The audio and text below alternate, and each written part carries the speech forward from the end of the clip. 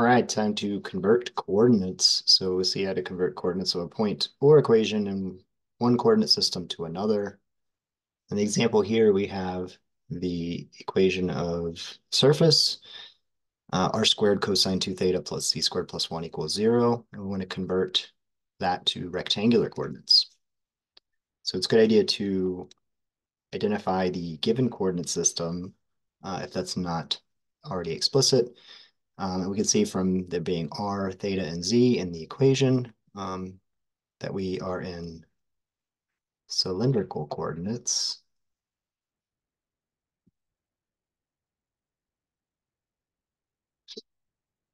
And then you want to find equations relating the given coordinate system to the desired coordinate system. So we want to find equations that relate cylindrical coordinates to rectangular coordinates. Um, and there's uh, r squared equals x squared plus y squared. And tangent of theta equals y over x.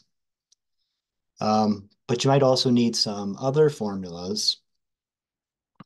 Uh, so let's put in x equals r cosine theta and y equals r sine theta. And then this one has a cosine of 2 theta. And so we might need the double angle formula.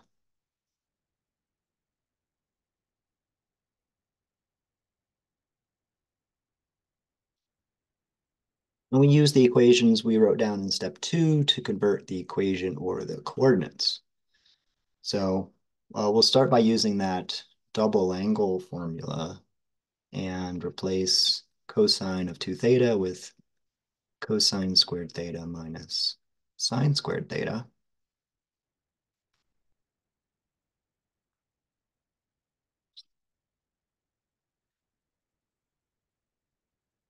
And then we will distribute the r squared.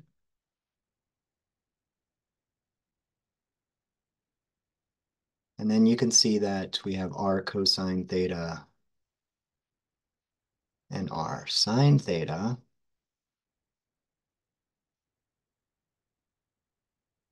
And uh, using these formulas, we see that that's x and y squared. So we don't have anything for z because uh, the cylindrical coordinate z is the same as the rectangular coordinate z. So we don't need to bother with changing that. Um, and we saw in the last section for quadric surfaces um, that these might need to be written a certain way to identify them. If we write it like this, then you might recognize this one as a hyperboloid of two sheets. If not, that will come up in the validation where we plot the results from both. So we plot the coordinates or equation in both coordinate systems. Um, and the tool we're going to use here is the CalcPlot 3D tool. Um, there's a link for it under Labs and Technology Tools. But CalcPlot 3D. Um, you just search CalcPlot 3D, you should come up with this. And let's clear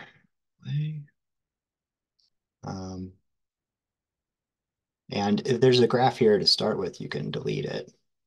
So we'll first put in the cylindrical coordinate equation. So from the drop-down menu, um, select implicit surface and then type it in r squared. And then to put in theta, use the little button there.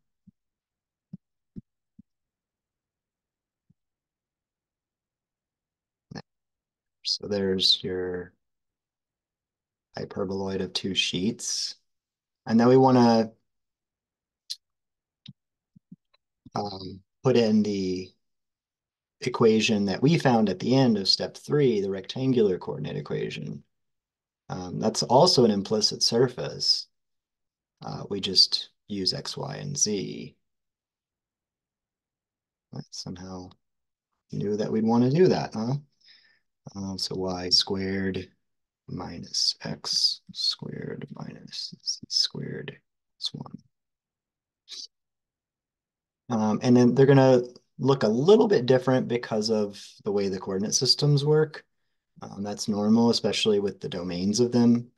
Um, but you can kind of toggle one off and the other on and just make sure that they are almost the same, um, which we can see that they are. So there's our hyperboloid of two sheets, and we've converted the coordinate system correctly. So um, that wraps up converting coordinates methodology, instructor model. Go on to the fill in the blanks in your turn examples.